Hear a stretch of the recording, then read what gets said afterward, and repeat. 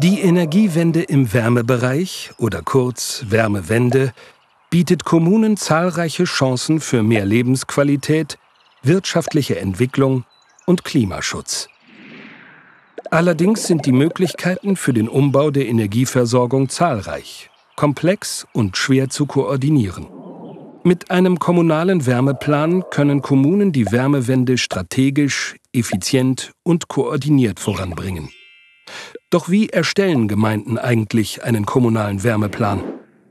Grundlage dafür ist eine gründliche Analyse der aktuellen Situation.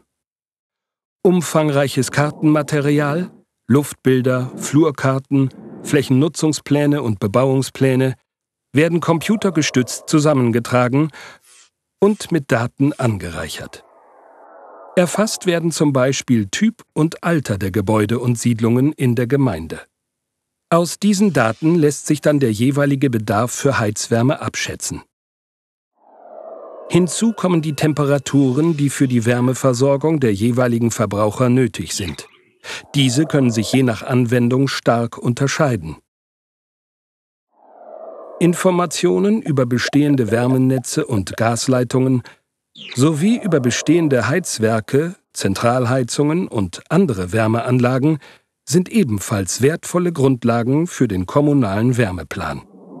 Der Bestandsanalyse folgt die Analyse der Energiepotenziale in der Gemeinde und im Umland. Ein wichtiger Lieferant für klimafreundliche Wärme ist die Bioenergie. Aus den Flächendaten zur Land- und Forstwirtschaft lässt sich abschätzen, wie viele Rohstoffe und Reststoffe nachhaltig für die Bioenergienutzung in Frage kommen.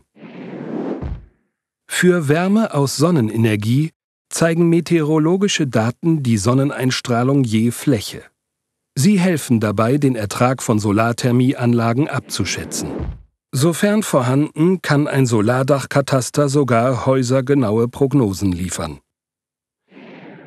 Geothermische Potentialkarten hingegen geben Auskunft, welche Standorte sich für die Nutzung der Erdwärme eignen. Mithilfe der erfassten Daten kann nun ein Wärmekonzept für die Gemeinde entwickelt werden. Eine grundlegende Frage ist dabei etwa, welche Gebiete per Wärmenetz versorgt werden können. So sind kompakt bebaute Gebiete mit einer hohen Wärmebedarfsdichte gut geeignet für Wärmenetze. In dünn besiedelten Stadtteilen hingegen können Einzelheizungen nach wie vor sinnvolle Lösungen sein. Auch die Sanierung von einzelnen Gebäuden und ganzen Siedlungen gehört zu den zentralen Bausteinen eines Wärmeplans. Dank der umfangreichen Daten können nun verschiedene Varianten für die Wärmeversorgung verglichen und abgewogen werden. Wie wirtschaftlich sind sie? Wie viel fossile Brennstoffe sparen sie? Wie viel Klimaschutz leisten sie? Wie viel kommunale Wertschöpfung ist zu erwarten? Und bleiben sie trotz demografischen Wandels langfristig sinnvoll? Sind diese Fragen geklärt, entsteht aus den ausgewählten Maßnahmen ein umfassender kommunaler Wärmeplan. Dieser kann dann im Gemeinderat beschlossen und in etablierte Planungsinstrumente wie Flächennutzungsplan und Bauleitplan integriert werden.